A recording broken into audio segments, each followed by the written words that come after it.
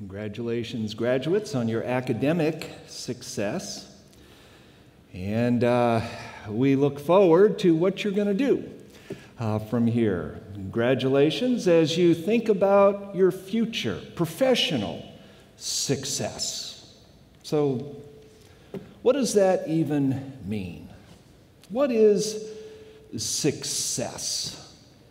Uh, that's why I love the story of Eleazar, Adino, and Shammah. Don't you love that story?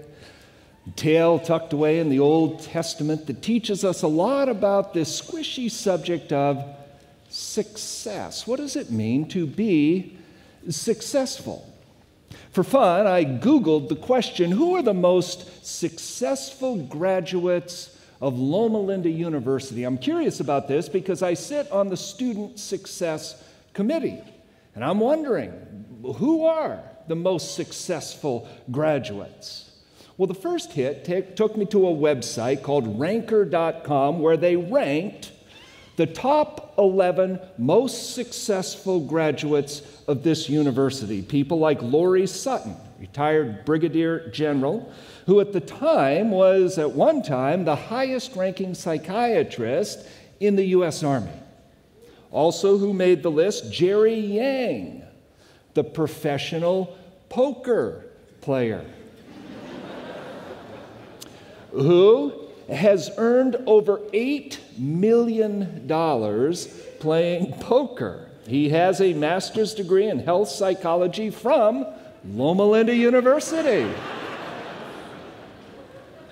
Also on the list, Samuel H. Wood, and this is his bio. It says, the scientist credited as the first man to clone himself.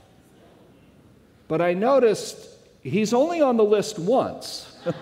so I'm not really sure whether he's on the list or I don't know. But apparently, he's in the top 11 most successful alums of Loma Linda University. How do you know? Why did they get on that list? What is success? Ah, that's why I love the story of Eleazar, Adino, and Shammah. Don't you love that story? teaches us a lot about success. Now, there are some who would suggest you know you're successful when you have become a household name. Okay, well, that makes sense, right? Like Kardashians, or I mean, if you have fame and celebrity, then you by default are successful. Is that right? I have to say, I have tasted the heady potion of fame and celebrity. Now, mind you, it wasn't legit, but I tasted it and I sure felt successful in that moment. My wife, Sheree, and I were flying home from Honolulu. When we got to the airport, discovered that earlier that day there had been this security breach, which meant uh, the line to get through TSA snaked all through the airport and spilled out onto the sidewalk outside. But we got there plenty early, not to worry. We got the back of the line and waited, waited, maybe an hour, hour and a half. Only then did I figure out that I had left my brand new camera in the rental car. And so I said to Shree, hey, you go on home. Um, there's no way I'm going to go get the camera and then wait through this line again. I'm going to miss the flight, but I'll figure something out. I'll probably meet you tomorrow at home, but you go ahead. I need to go back and get that camera. And so I caught a cab, went to the uh, rental car agency, and then he gave me a ride back to the airport. And I found my place in the back of the line, calculating with my watch okay, there is no possible way I'm going to make this flight. So I was pondering what to do next when a security guard said to me, uh, Hey, you can come with me. And so I fell in line next to him, and we were walking together. And he said, uh, You know, we get a lot of celebrities on the island. Uh, and so whenever I can, I, I try to spare them the long line, especially today. And we've got a special security room in the back where there won't be any line. I said, Well, w- were you at the camp meeting last weekend where I spoke? Said, Oh, I didn't know you were speaking here. Uh, no, I just love all your movies.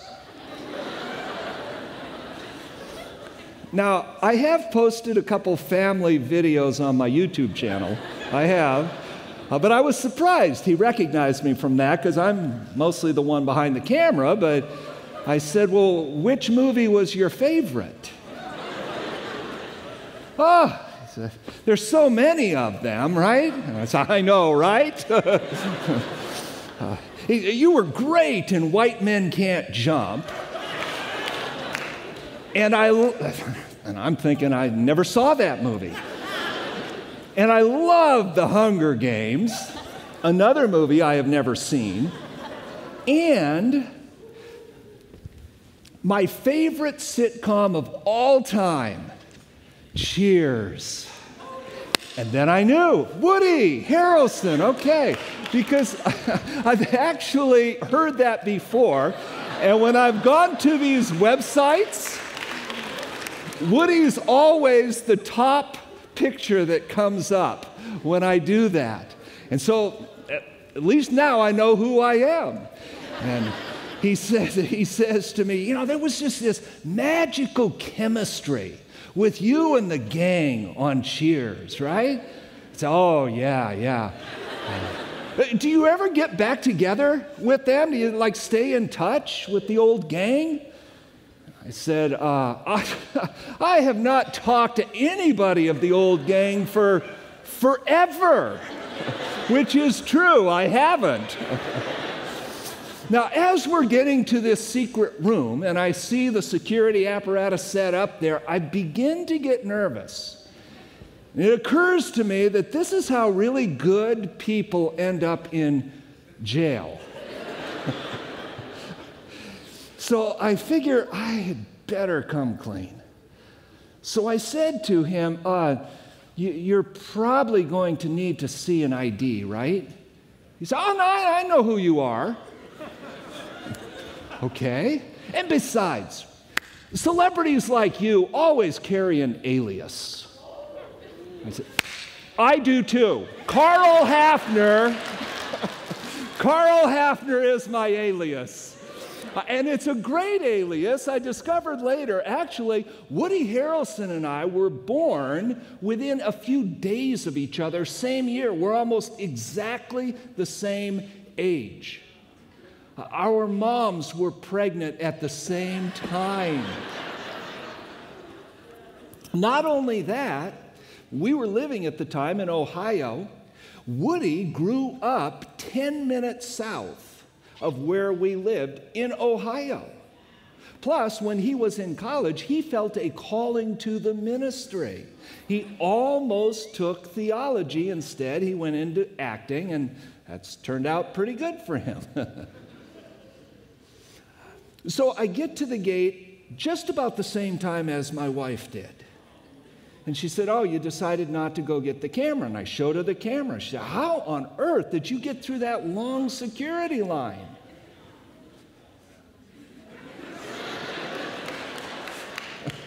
I said, Celebrity has its perks. Now, I got to admit, in that moment, I felt really successful. So maybe that's it. If you get the VIP treatment, then that makes you a success, right? Or no? What is success? Ah, that's why I love the story of Eleazar, Adino, and Shammah. Don't you love that story? It teaches us a lot about true success. Well, what is it, anyway? Thomas Jefferson once suggested success is the individualistic pursuit of happiness which, when you think about it, is the antithesis of what Jesus taught when he said, No, actually, true success, kingdom success, is not the pursuit of happiness for yourself, but rather the pursuit of happiness for others. In the words of E. Stanley Jones, the most miserable people in the world are self centered people who don't do anything for anybody except themselves. They are centers of misery without exception. On the contrary, the happiest people are the people who deliberately take on themselves the sorrows and troubles of somebody else. Their hearts sing with a strange, wild joy, automatically and with no exceptions. Because in the end, success is not some goal to be achieved. Rather, it is the inevitable joy in a journey of serving people. That's success. And that's, of course, what we learn in the story of Eleazar, Adino, and Shammah. Don't you love that story? It's been a long, brutal day of battle. David slumps over the fireplace, poking at the embers with a stick. He's grumbling to himself, Oh, I'm so thirsty. The water out here is so bitter and brackish. If only I could have a drink from my well in Bethlehem. But of course, now the Philistines, the hated Philistines, they occupy my city. They have my water rights. They control everything. ah, no time for that right now. We have a battle to prepare for. And so he calls all of his generals around, and they start to think strategy. Should we attack tomorrow from the north or the east? And David is so preoccupied in the planning, he fails to even notice his three mighty men, they're called in Scripture. His three generals slip off into the shadows. Eleazar, psst, here. Adino, what's up? What are you guys doing tonight? Huh? What are you doing? Well, I don't know. Why? Because I heard David express that the desire of his heart would be to have a drink in the well from Bethlehem. What are you doing? We're going with you to give David the desire of his heart. So they don their grungiest fatigues and put soot from the fireplace all over their faces. Then they sneak out of camp and start racing down this grassy hillside. Now, even though it has been a long day of battle and they are physically exhausted, it's like their legs are wings. It's like they can fly. They are so exhilarated by this mission because it's not a mission for themselves, but rather a mission to give somebody else the desire of his heart. And they go past that place where the story had often been told of how David had killed a lion with his bare hands right there. And then on a little further, they come to that thicket where the story was told of how David had killed a bear there. And over off into the distance, they can see the sheep and the pasture. But of course, now they are not shepherded by a humble Jewish boy, but the Philistines own the sheep, they own the pasture, they own the city, they own everything anymore. They come to that wall outside of the city and they know a secret place that they can sneak in. But now, of course, they must be exceptionally careful because there are guards stationed everywhere. And so they stalk like cats, racing from shadow to shadow, to barn to house, to barn to tree, until they're maybe a nine iron shot away from the city well. There they watch as the guard drifts to sleep and lays down. So they tiptoe to the well and step over the slumbering guard, let themselves into that rock stairway that takes them down to the water. And Eleazar tosses the gourd into the water and scoops it up and then pours it into a leather pouch. They tie it tightly and then come back up out of the well and step over the sleeping guard through that secret place in the wall outside the city, and then they start racing back. And when they get within camp, now you understand the sun is just beginning to crease the horizon. Fingers of light stretch across the sky, and they're just getting to camp when they hear, Who goes there? It is me, Eleazar, Adino, Shammah.